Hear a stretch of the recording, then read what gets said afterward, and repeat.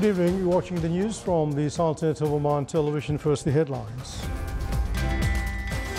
15 new cases of COVID-19 are registered in the Sultanate, while 23 cases are recovered.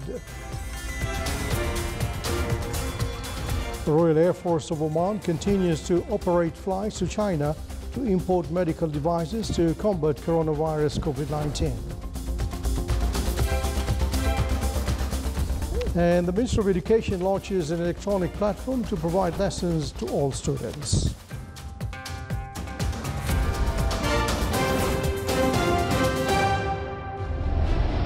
Non-compliance with the directives of the Supreme Committee dealing with coronavirus COVID-19 exposes you to risk and legal action. Stay safe.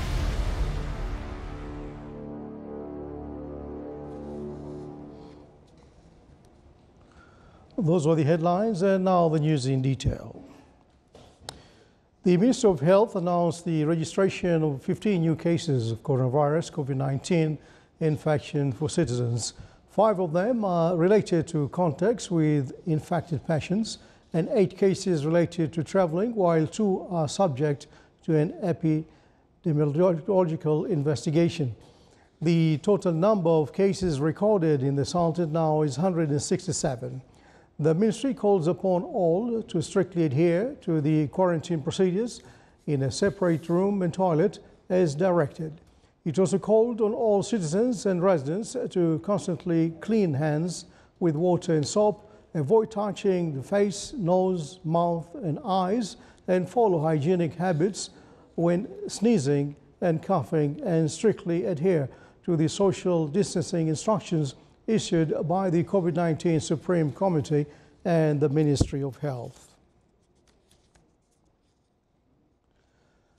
The Ministry of Manpower affirmed that private sector companies responded to the decision of not deducting or lowering the salaries of their employees.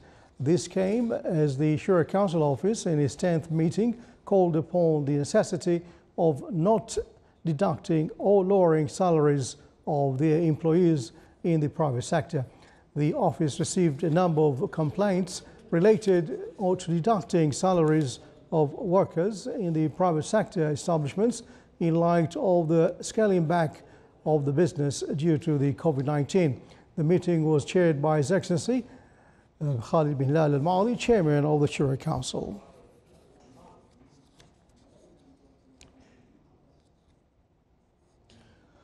The Royal Air Force of Oman continues to operate its flights to China in order to import medical materials and equipment.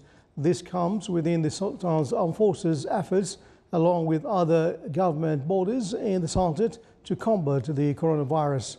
The Sultan's Armed Forces presented by the Royal Air Force of Oman exert tireless efforts to reduce the spread of COVID-19.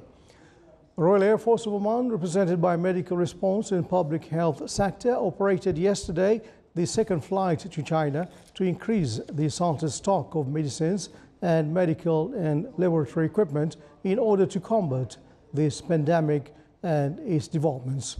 The medical response and public health sector took all the precautionary measures to ensure the safety of the crew members on board by using screening devices for the virus.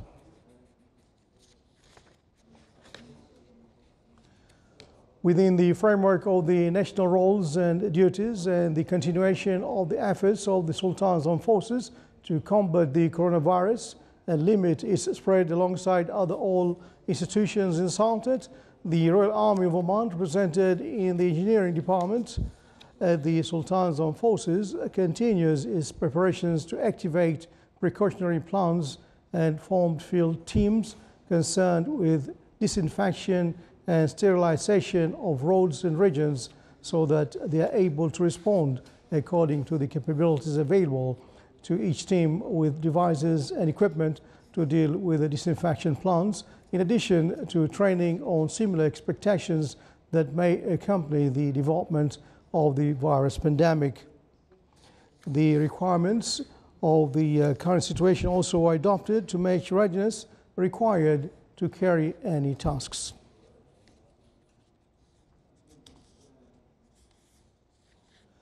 Spain reported a national daily record of 838 coronavirus deaths today in a fresh warning to the world that long-term lockdowns may be needed to halt the deadly march of the disease that has claimed more than 31,000 lives.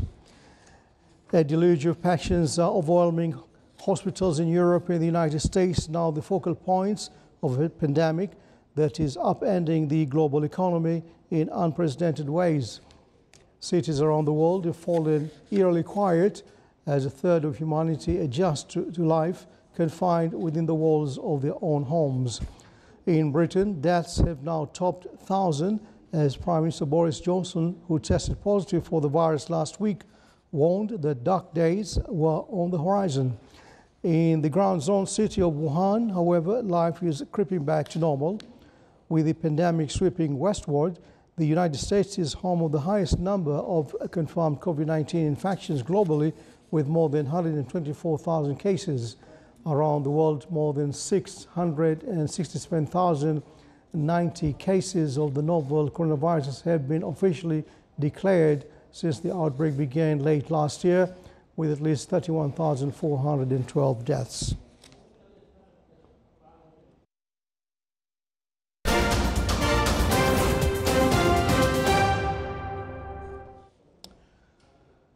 In order to deliver the educational content to all students, the Ministry of Education launched an electronic platform that includes all subjects.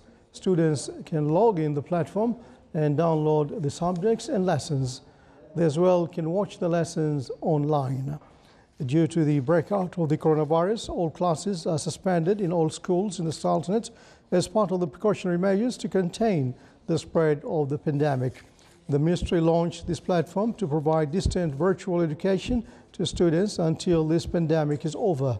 The platform offers classes for various segment students that include 62 applications allocated for subjects to download daily online lectures, exams, visual communications between student and teacher, and many other services. Oman telecommunication company Omantel, the strategic partner in this platform, affirmed that internet service in the platform is for free.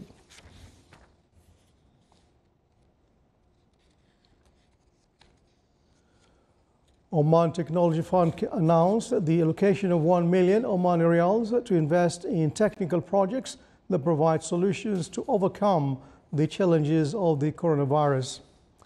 Earlier, the fund, in cooperation with the Ministry of Agriculture and Fisheries Wealth, launched the Bahar electronic platform, which will link the central wholesale fish markets in some wilayas to electronic bidding. The Oman Technology Fund invested in four Omani youths who invented the Bahar E platform. It is aimed to ensure that the fish are provided in the market away from the risk resulted from context and crowding as part of precautionary measures.